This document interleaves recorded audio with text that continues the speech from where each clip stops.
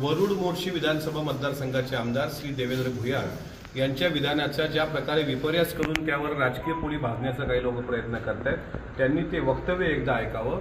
विदर्भ आणि मराठवाड्यामध्ये शेतकऱ्यांची अवस्था बिकट आहे. शेतकऱ्यांच्या मुलांची अवस्था बिकट आहे. मराठवाडा आणि विदर्भात अक्षरशः पस्तीशी ओलांडल्या मुलांना मुली भेटणंसुद्धा मुश्किल झालेलं आहे. किंवा एखाद्या शेतकरी बापाच्याच मुलीला असं वाटतं की आम्ही शेतकऱ्याची सून म्हणून जाऊ नये ही जी काही वस्तुस्थिती आहे ती त्यांनी त्यांच्या स्टाईलमध्ये मांडण्याचा प्रयत्न केला. मात्र त्याचा सोयीच्या पद्धतीनं विपर्यास मीडियावर झाला आणि काही पक्षाच्या महिला प्रवक्त्यांकडून त्याला फोडणी देण्याचं काम झालं.